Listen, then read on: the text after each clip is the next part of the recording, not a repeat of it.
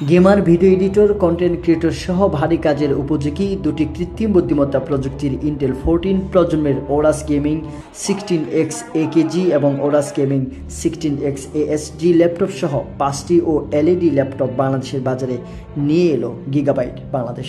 রোববার আঠাশ এপ্রিল রাজধানীর একটি রেস্তোরাঁয় ল্যাপটপগুলো অবমুক্ত করেন গিগাবাইট এশিয়া অঞ্চলের ডেপুটি ম্যানেজার অ্যালান্সো। তিনি জানান, ভবিষ্যৎ কৃত্রিম বুদ্ধিমত্তা প্রযুক্তির হাতে।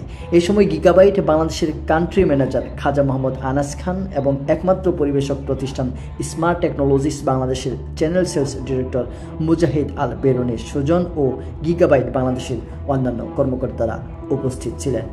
অনুষ্ঠানে এই ল্যাপটপগুলোর বিশেষত্ব তুলে ধরেন আনাস খান। তিনি এসএটিভিকে জানান, গিগাবাইট একটা নিউ জেনারেশন নিয়ে আমরা কাজ করতেছি, যে ইন্টেলের ফোরটিন জেন এটার পাশাপাশি গিগাবাইটের new series like the Aero Aorus এই সিরিজগুলো নিয়ে আমরা কাজ করতেছি এবং পৃথিবী, পুরা পৃথিবী টেকনোলজি চেঞ্জ হচ্ছে এআইয়ের মাধ্যমে।